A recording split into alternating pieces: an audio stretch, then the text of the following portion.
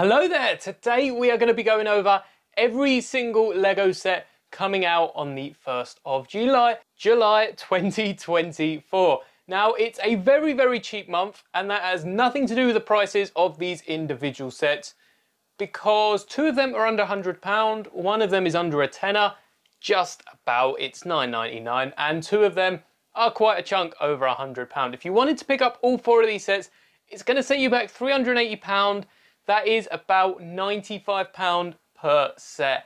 And honestly, I don't know where most of the money is coming from. But before we get into that, I've got a little update. For the whole of this morning, I have been, I guess, boarding up my minifigure, similar to the members board, which, by the way, if you do want to be on that top row of members, there's only two spots left. So definitely consider becoming a membership soon. It's only 99p I think for the month and you get a plaque on this members board. Thank you to the four members we already have, Lemonade, Soybean, Captain Sci-Fi and George G. Thank you for going above and beyond, supporting the channel, becoming a members, and especially all the conversations we're having over in Discord because for instance, all the Lego that I got from the Star Wars convention I went to yesterday, and you would have seen it today, but this video is also going out tomorrow. I spoke about that first over on the Discord, but what I've done today is emptied my minifigure storage head full of all my minifigures, basically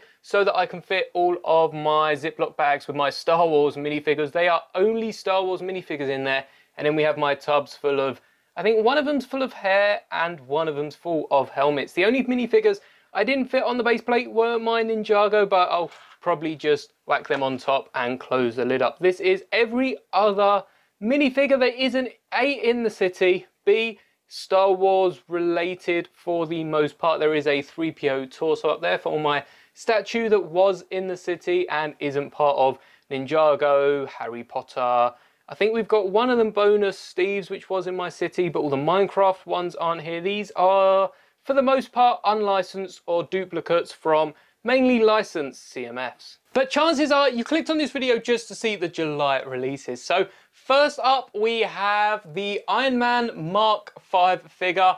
I don't really know much of the differences between Iron Man's different costumes and the different marks of his suit. So I have no idea what movie this is from, but the main difference with the older Iron Man, which I do have here, it's got number one.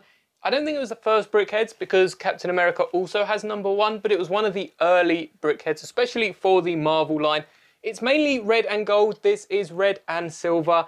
And I do actually like the fact that they've switched the printing between this bottom torso here. You've got three printed tiles slash slopes on both of these brick heads, but they've switched this one by two for a one by four underneath Iron Man's eyes, and it does look pretty cool. And then next up we have the Bumblebee, which I think is really, really cool. It seems to be a more classic Bumblebee and lines up to the one we saw in the Bumblebee movie. And I think there's meant to be a new Transformers animation. I haven't really seen anything on that and I'm not sure if the trailer's out yet but I wonder if this is the Bumblebee that will be from that as well. It's just a different car to some of the bigger Michael Bay movies. But that looks really cool. That's $79.99 and again all the other prices for all of these sets will be on screen in pounds euros, United States dollars, Canadian dollars, and Aussie dollary dues. And that's just to help you see the local prices as you'll probably be able to convert from one of them into your local currencies. The next vehicle is the Lamborghini Countach 5000 Quattrovalvole which is an absolute mouthful and I've definitely butchered that last word. It's 160 pound it's definitely aimed to the people that collect the bigger Technic cars. It is brick built, I believe, over Technic, which they've started doing quite a bit recently, and it definitely looks really, really cool. 1,506 pieces. You've got the pieces to back up the price tag. Even Bumblebee, 950 pieces for £80. That's quite good for the Transformers, considering Optimus Prime come out. They reduced it since, but I can't remember if it was like £180 or something like that, and then they dropped it to 120 which usually you see companies doing the opposite over time, raising the prices, but no one was really interested in the Optimus Prime with the massive price. So it's nice to see Bumblebee a bit cheaper, obviously not as big as Optimus, so they probably had to do that to make sure they sold as many.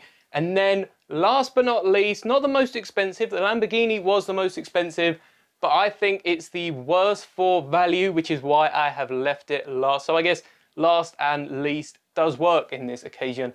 The Force of Creativity, which is a brand new Lego Star Wars coffee table book. I mean, Lego have advertised this to be a coffee table book, which tends to be a book you don't necessarily read. You leave it on your coffee table, perhaps someone comes round and will have a little flick through it, similar to a TV guide or a magazine that you pick up mainly for the poly bags and you'll just flip through the magazine. But this is £130. To put this into perspective, the Star Wars archives for the original trilogy or the prequel trilogy, we're yet to get them for the sequel trilogy, I don't know if they will be doing it because of how much they put out on the bonus discs, but the archives for Star Wars go over everything from behind the scenes you could possibly want. There is no stone left unturned, or at least for the most part.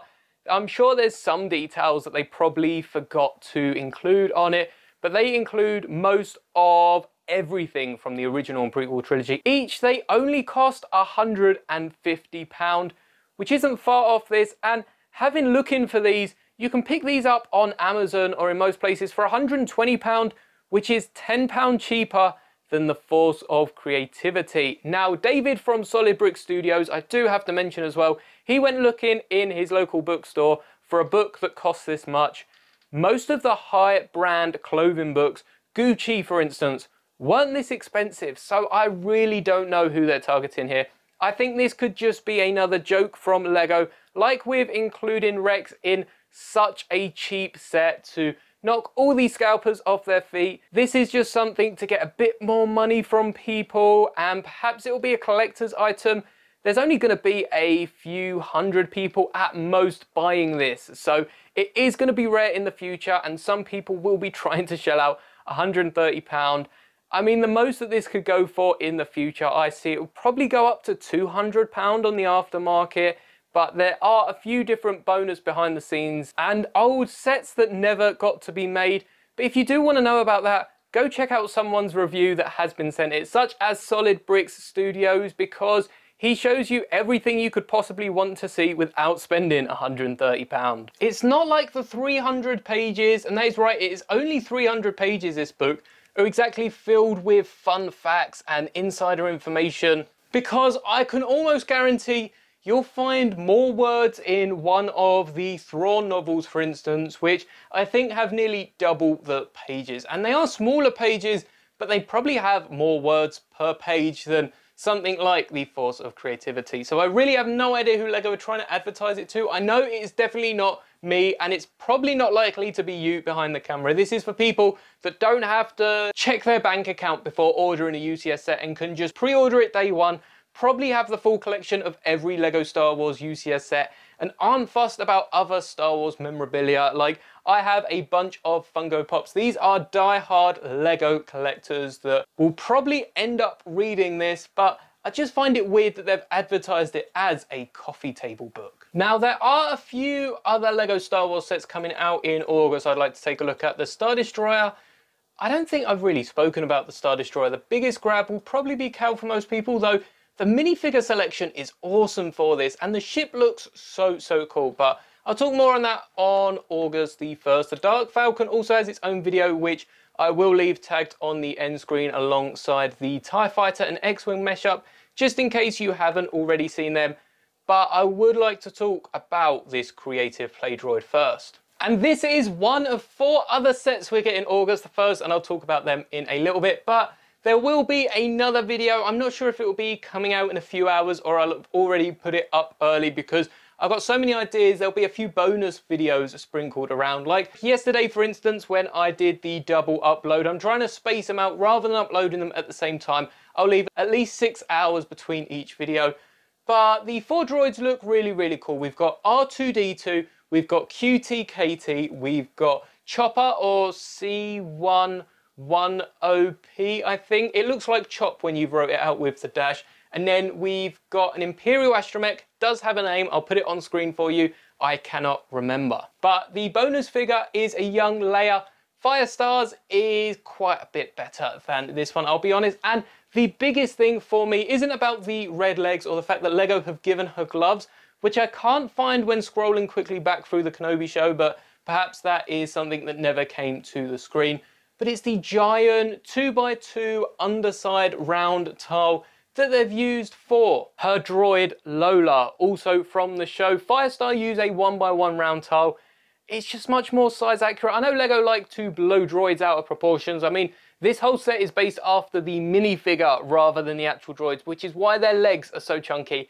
I absolutely love that. I think it looks so, so cool for these small buildable droids. And another thing, we've got three R2-D2s on shelf now. We've got the 150 pound one, which is for the 50th anniversary of Lucasfilm. And if you can't afford that, then you've got the 90 pound one this year, which comes with the Darth Malak figure. And if you can't afford that, well, you can't afford this one because it's also £90. It does come with four droids. I did guess that it would be just as expensive as the other one. Even though you are getting a smaller R2-D2, I would have preferred them given perhaps just the extra pieces to convert between the four, like the 8-in-1 Batman. If they could knock this down to £40 and just give us the pieces to make each of the droids, and like they do with most sets, they never give us a full temple or a full scene. You buy two, you complete it yourself. So if you wanted all the droids, buy perhaps two, three of them, or buy the interior bricks of Rebrickable, like most people are going to do with the Batman. As many Batmen as they want to make. Buy the interior bricks of Rebrickable, Bricklink, Brick Owl. I don't think you can actually buy bricks through Rebrickable, but there'll probably be some instructions just for the interiors up. And that would have been a much easier way to market it for a bit cheaper. It's a creative play droid builder but you're only building the four droids once. This way you'd get to build all four droids as many times as you want because perhaps you want a chopper, you'd have to take down R2. I guess Chopper and the other Imperial Astromech are quite different colours, but you'd switch around the torsos, add the different legs on. Perhaps you could add some Chopper legs on an R2-D2 body. It comes with a load of accessories. My favourite is this image with Chopper in a Filoni hat. I think that looks so cool. But I also do think LEGO have missed the mark on this one. It needed to be cheaper than £90. It doesn't really matter what LEGO did to get it under £90. Perhaps they could have dropped a droid or two, but it really doesn't have much audience because would you rather have these four little droids with a few fun accessories that, to be fair, they're not exactly hard builds. Perhaps Chopper's Filoni hat is the hardest out of the lot. You can get instructions from that and just buy the hat off Rebrickable. Perhaps even try and build a bigger one for your bigger astromech droids. But it would have been great to, in place of this, perhaps have got a buildable chopper at the scale of that 90 pound R2 that would have made a load of fans a lot happier and also would have still tied into the Ahsoka sets that we got Chopper in the Ghost last year. We're rumoured to get a Battle of Peridea and hopefully we get images of that soon. But besides that, we haven't really got, well, we get Ahsoka in the Advent, so they haven't completely ignored that. But I feel like we should definitely be getting a few more sets from that era. But at least we've got sets from Ahsoka, including this chopper here, who is kind of also tied into the Rebels. So they've managed to get two different eras with the one droid. Sequel fans really have nothing. Would it have been too hard to put BB-8 or maybe even BB-9E in this set. BB-8 would have fit perfectly with R2 Chopper and QT-KT and instead they went with a black and gold droid that it says R5J2. I couldn't tell you where R5J2 comes into it. I'm sure they're in the background of some sort of scene, but a BB-8 or even a D-O or just some droid to link the sequels in there and open the market because R2's barely in the sequels. It would have been really, really nice to see, but I guess LEGO not only favour the original trilogy, but also are for now completely ignoring the sequels, and we can't count the Rise of Skywalker Falcon that is still on the shelves. There's four Falcons. There's the Rise of Skywalker, the UCS, the MIDI Scout, and the Rise of Skywalker Falcon is retiring for a Dark Falcon, which you would have seen an image of very briefly, and again, there is its own video up, and that has no ties to the sequels besides the, well, I guess it has the Dark Rey but I'm not going to count that as she's probably going to show up in Rebuild the Galaxy. It is really, really cool to see these astromechs with all their funny accessories. Nonetheless, even if there's a few droids they could have done better, and Instead of QT, QTKT, I would have wanted to see R2KT. If you're still confused on the difference, by now I've probably already uploaded a video, so I will also add that onto the end screen. I'll try not to pack it out too much, but this isn't exactly the droid we all thought it was, and if they go with this same model for the anniversary figure, it's gonna leave a few fans disappointed. Don't get me wrong, this droid is a droid from four episodes of the Clone Wars and was created because they couldn't fit R2KT in. Something with a name between R2D2 and R2KT being too familiar. But hopefully we do get R2KT as the anniversary figure and they don't make the mistake of using QTKT instead. Now onto images of the new C3PO. These were off Brickshop and I did bookmark this page but they have since taken it down and I doubt LEGO will be giving out C3PO for free. So we've got seven images taken from Brick Shop's page and it is a Singapore official LEGO retailer, I think. Don't quote me on that. But you can see 3PO is actually looking really, really cool. Any of you that complain about the face, I really don't know what you are seeing. So let me know if you do dislike C3PO's face, what you dislike about it in the comments because I am quite struggling to see any issues with it. And I would actually love to know what you have the problem with because a lot of people's opinions are clouded by the C3PO, especially with the amount of people that did complain about Chewbacca a load of people are just complaining because, well, they didn't like Chewbacca, so why would they like C-3PO? But if you genuinely dislike the face, do leave a comment and hopefully I'll be able to see what you dislike because the more I stare at it, the more I just see the C-3PO face we're used to seeing from the movies. But not only will this set be getting you C-3PO, and I'll wait for the LEGO official site to post images to confirm, you know, prices and piece counts because I think it's only America that gets the piece counts and everything on the boxes. Actually, I think there's a piece count down there, so just ignore that. We're also getting the UCS C3PO from the Land Speeder, but I thought they weren't releasing their exclusive minifigures. Now, I did say there were seven images. We'll take a look at the others later, but we've now got Rex, who wasn't the exclusive minifigure on the box, so that was fair enough but the X-Wing Luke was meant to be exclusive. They gave him out as a keyring, meaning that we had access to the arms and legs to create the figure for ourselves. So if you are looking at buying a UCS Luke, chances are they've just bought a five pound minifigure, used the arms and legs, and are upscaling the price to try and make a profit. It also means that the UCS Luke minifigure will be dirt cheap for people that maybe have a Luke to spare, are buying a five pound keyring, Selling it for 12, 15 pound, it's still cheaper than you can get the cheapest set Luke is in, which is 13 pound, and the five pound keyring. If you can pick him up for less than 18 pound and don't want to have a mech or a keyring, now really is the time to be grabbing yourself a UCS Luke. But he was made available in a keyring that's not a set, it is a bit different. So Rex and Luke they get away with. But now C3PO is no longer exclusive to a land speeder, which costs probably around the two, three hundred pound mark. This C3PO isn't going to cost as much as Chewbacca. I think 90 pound would be the best price. 120 would be a decent price. 150 is probably also likely for this buildable model. I forget what Chewbacca's going for. I believe it's somewhere around the 180 pound mark. So 150, 120, probably closer to the 150 mark because of how tall C3PO is. And I am assuming they are all printed pieces that come in this set. But we're getting the figure for like half the price of the Land Speeder. And he does seem to come with not only arm printing, which is common to every set with C3PO in now, even a polybag we got in the magazine, but also the dual molded leg. And you can see what I mean in the next image. If we get right into C3PO, that's definitely not printing on his leg. That's definitely a dual molded leg. A nice plaque as well for the 25 years. That is also going to be really, really cheap on Brick Owl, Bricklink, wherever you buy your Lego. Even if you were to pick it up through another second-hand Lego store, it does look really, really nice. I think the funniest thing about this image is the plant in the bottle here. Over in the UK, I'm used to seeing these full of loose change and pennies, and they've really had to scramble, get every one of their last pennies and two pennies to be able to afford this C3PO, just because of how expensive this set is gonna be. But it definitely looks like the time and the effort has been put into this, and unlike Chewbacca, where it felt like the head wasn't quite finished, and they've just gone with what looked best at the time.